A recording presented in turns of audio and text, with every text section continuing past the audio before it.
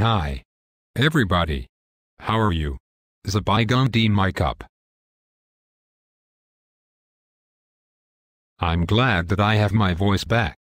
I have a new video from friends.